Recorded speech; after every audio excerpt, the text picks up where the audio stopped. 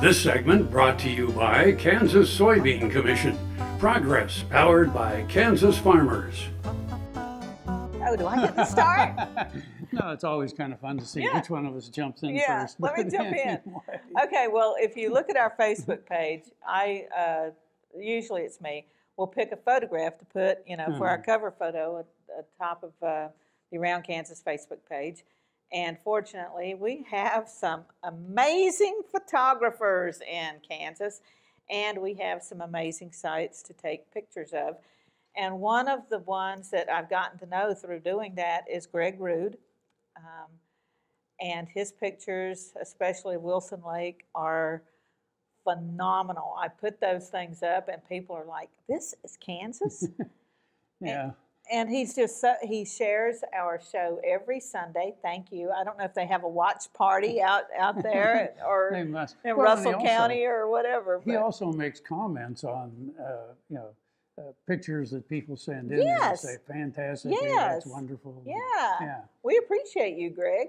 So, Greg also has a calendar and a book that you can order in time for Christmas. So, let's take a look at some of his beautiful work. Greg Rud is not a native Kansan, but he has come to love his adopted state and to capture its beauty with his photography. When he moved from Minnesota, the land of a thousand lakes, he thought he couldn't possibly live somewhere without water. But there was a heck of a bargain on a house in Lucas. When he saw Wilson Lake, he knew it was meant to be. Wilson Lake has inspired his splash art, these incredible captures of the sunset, illuminating splashes of water on the lake. And then there are the sunsets, the trademark skyscape of western Kansas.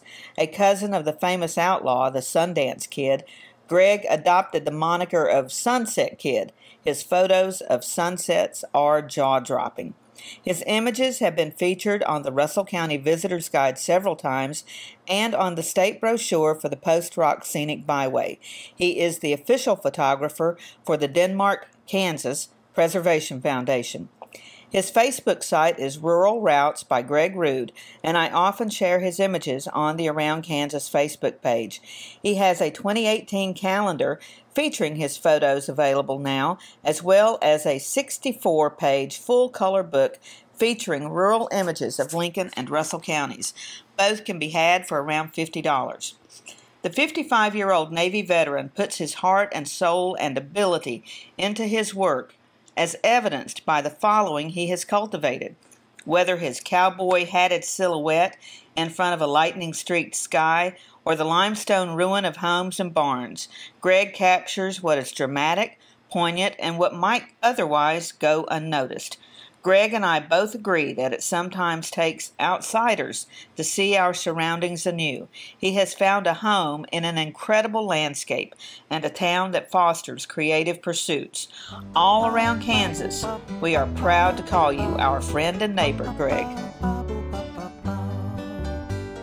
Welcome to the Jerry Thomas Gallery and Collection, where we showcase my renowned frontier military and Native American artifacts. Behind me you see a touch of fall. We put together not only the beauty of Micah Highwalking, who is the first graduate of West Point of the Northern Cheyenne people and a dear friend, but also a Hudson's Bay blanket that I have here in the gallery. The unique opportunity that I was able to have was we unveiled this painting and surprised Micah at Custer Battlefield, a true honor.